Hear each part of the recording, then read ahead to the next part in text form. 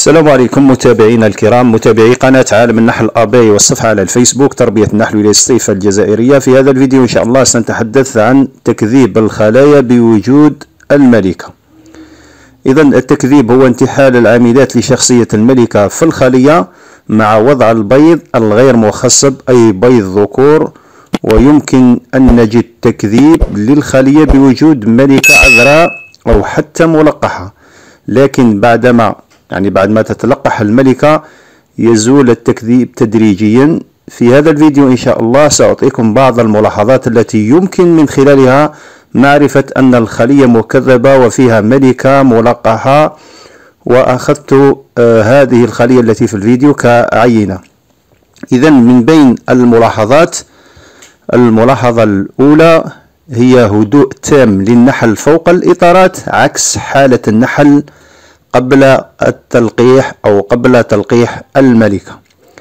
الملاحظة الثانية قيام العاملات بحركات اهتزازية وإدخال حبوب اللقاح وسروح منتظم.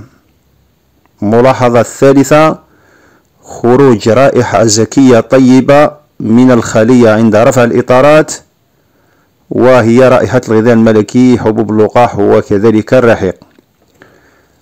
ملاحظة الرابعة استهلاك سريع للتغذية في حالة تقديمها للنحل.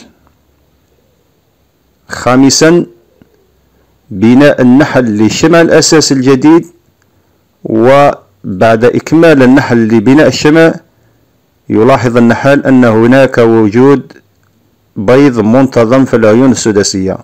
يعني أحيانا بيضة في العين الواحدة وفي حالات يعني قليلة الملكة الملقحة حديثا تضع بيضتين في العين السداسية.